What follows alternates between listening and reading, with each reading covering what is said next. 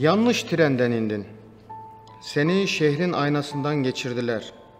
Sana baktım yıllarca, hep aynı özlem penceresinden. Sezai Karakoç'un e, bu mısralarını okuduğumuz zaman e, şaşırabiliriz. E, ya da benim bu söyleyeceğim şeyler şaşırtıcı olabilir. E, Sezai Karakoç'un daha çok deneme kitaplarıyla e, tanışıyoruz. Onun ismine e, öncelikle düşünce yazılarıyla e, tanışıyoruz. E, bu benim yaşıtım gençlerin veya okuyucuların e, birçoğunun yaşadığı şeydir. E, ustalarımızdan, hocalarımızdan e, duyduğumuz Sezai Karakoç'ta e, bu özelliktedir. Yani o sadece düşünce yazıları yazar, çok ciddi meselelerle uğraşır, siyasi yazıları önemlidir. Ee, bununla birlikte Mevlana, Yunus Emre, Mehmet Akif gibi biyografik eserler de ortaya koymuştur. Özgün bir yorumu vardır. Fakat e, 20 yaşlarındaki bir genç için aşk şiiri yazdığını duymak Sezai Karakoç'un o benim 90'lı yıllarda genç olduğum yıllarda ilginç ve şaşırtıcıydı. Ben Sezai Karakoç'un e, aşk şiirlerinin de olduğunu işin doğrusu Cemal Süreyya'nın 100 Aşk Şiiri antolojisinde e, o antolojiyi okurken öğrenmiştim ve çok şaşırmıştım. Yani o gözle bakmamıştım hiçbir zaman. Sezai Karakoç şiiri denilince böyle bir e, tasavvuf şiiri veya dini şiir, siyasi şiir, düşünce şiiri e, gibi düşünmüşüzdür her zaman. Bir aşk şiiri yazamazmış gibi sanki Sezai Karakoç veya yazma gereği duymazmış gibi. Oysa Sezai Karakoç'un e, Mona Rosa gibi bildiğiniz üzere çok meşhur bir aşk şiiri vardır. Bununla birlikte naif, e, lirik, e, kendi düşünce dünyasını, hayal dünyasını, yaşadığı ortamı, ailesini yansıtan da, dünyaya bakışını yansıtan da aşk şiirlerine imza attığını görüyoruz. Bu okuduğum iki mısrada sen ben ikiliyle karşı karşıyayız. E, mısralar e, Sezai Bey'in e, ilk başlıklı şiirinde yer alıyor. Başlangıç mısraları zaten. E, sen ben ikiliğini özellikle vurgulamak istiyorum. Çünkü Sezai Karakoç'un sen ben, siz biz, e, biz onlar gibi ikilikler üzerine kurduğu şiirlerin daha güçlü olduğunu düşünüyorum. Burada şairin konumu ya da şiirde konuşan öznenin e, konumu ve e, hitap ettiği e, kişinin konumu e, ilk önce okuyucunun dikkatini çekiyor. Bu konumlandırma şiiri daha iyi anlamamızı ve onun içerisinde daha geniş bir anlam e, veya duygu alanı keşfetmemizi, imgeler dünyasını keşfetmemizi sağlıyor. Burada yanlış trenden indin diyerek kastedilen e, veya seslenilen e, özne muhtemeldir ki bir kadın ve bu kadın aşık olunan kadındır. Yanlış tren ise e, modernizmi temsil etmektedir. O kişi yanlış trenden inmektedir. Yani modern bir kadın olmaktadır.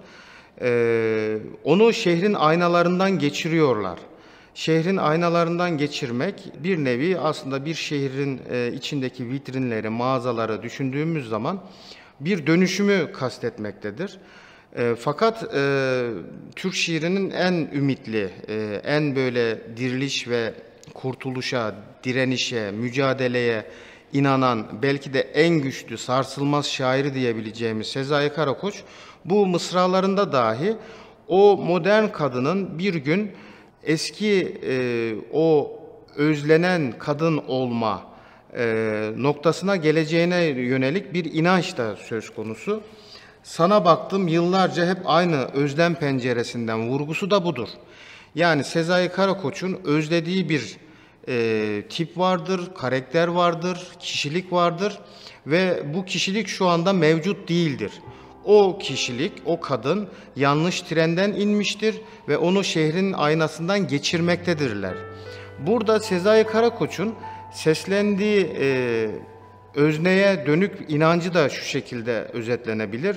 Aslında o kişi masumdur, onu e, kandırmaktadırlar. E, Sezai Karakoç bu kandırılışı e, da fark ettiren bir mısra kurmuştur burada. Seni yanlış trenden, sen yanlış trenden indin diyerek. E, neden böyle düşünüyoruz? Çünkü e, Sezai Karakoç'un hatıralarına yine başvurduğumuz zaman orada annesiyle kurduğu çok e, harikulade e, olumlu bir e, iletişimin, bir bağın olduğunu görüyoruz. Sezai Karakoç'un düşünce dünyasında ve sanat dünyasında annesi aslında kadın e, tipinin bir örneğidir veya şöyle ifade etmeye çalışalım.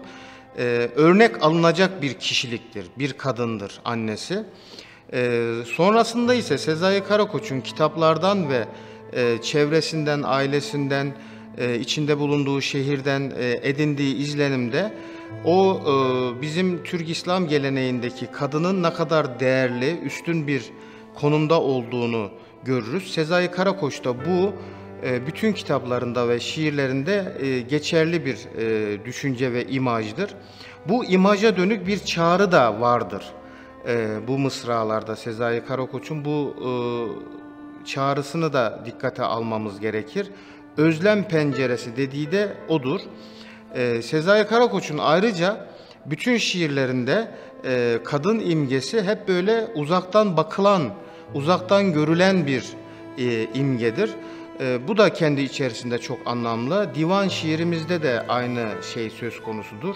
Leyla hiçbir zaman Mecnun'un e, yanında değildir. Her zaman uzağındadır. E, ve biz onu uzaktan görürüz. E, uzaktan ona aşık oluruz. Bunun e, bu divan şiirindeki Türk e, şiir geleneğindeki özelliğin modern bir versiyonu olarak okuyabiliriz. Daha doğrusu kendi çağına uyarlanmış ve doğruya çağıran, doğruyu özleyen ve oraya yönlendiren bir mısra olarak da bu iki dizeyi okuyabiliriz. Yanlış trenden indin, seni şehrin aynasından geçirdiler, sana baktım yıllarca, hep aynı özlem penceresinden.